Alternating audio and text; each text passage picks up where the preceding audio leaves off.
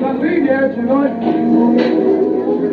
Let me talk to a minute, man. We got several preachers here. The water started moving on in the radio station, and it's still moving. And I to you just a. The 11th chapter of John, Lazarus got sick. And Martha and Mary sent for the Lord. And she told the Lord, He whom you love is sick. Christ was?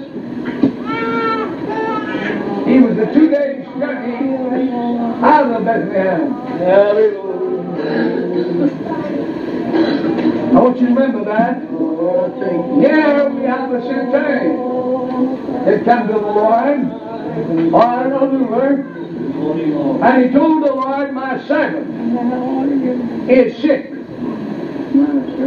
right at the point of death. And the Lord told him, If you don't see signs and wonders, you just won't believe. But the man said, Sir, come. One of seven died. The Lord said, I'll come and heal him. I'll come and heal him. Thank God, I want you to remember.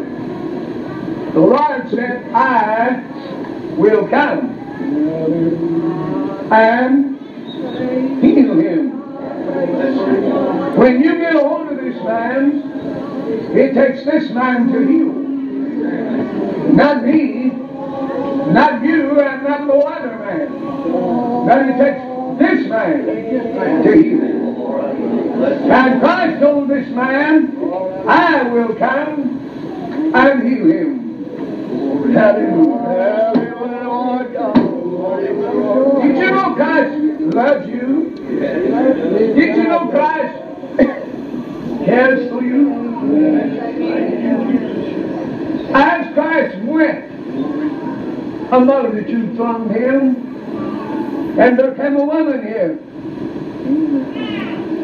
that had spent all of her living on physicians, doctors. But in her heart, she said, if I can touch the his I will be whole.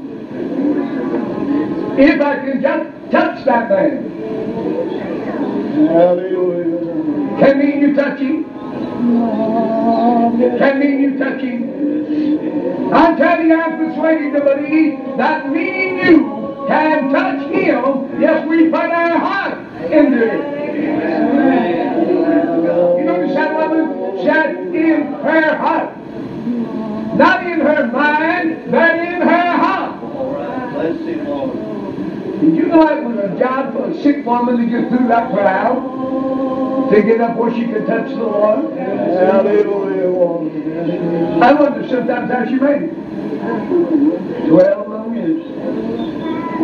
But somehow she pushed her way through till she could just touch. And when she touched, the virtue flowed from the Son of God.